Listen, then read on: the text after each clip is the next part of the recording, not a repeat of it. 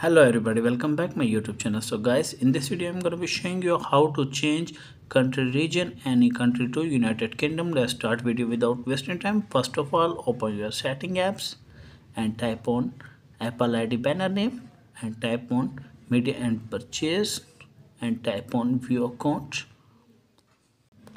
and type on country region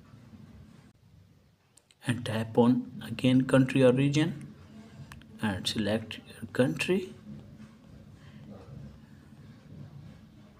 and United Kingdom.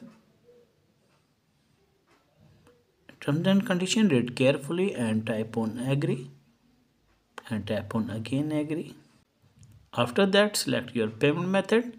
I am selecting no and put your information this information is fake. You make sure that uh, correct zip code e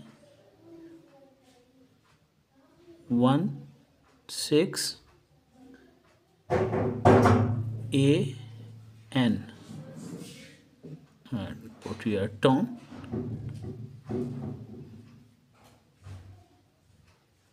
London and put here this.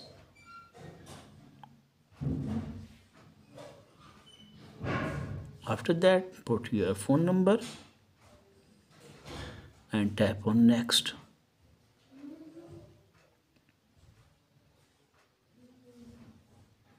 Your country region will be fixed. If the video is helpful then like and subscribe my channel. Thanks for watching